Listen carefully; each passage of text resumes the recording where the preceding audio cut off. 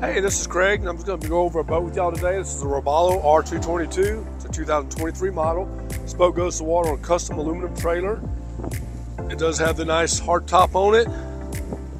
This boat is powered with a SHO 250 Yamaha. It's a super high output engine. It's got trim tabs on it. It does have the big transducer on it. Uh, got your little ski tow bar in the back. And let's go aboard and I'll show you more.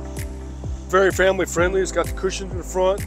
There also is a lean back cushion that goes here. It's got your uh, iPilot trolling motor on it. Inside here is a very accessible head. Uh, you can step down in there. Full grown size man can actually get in and out of there very easily.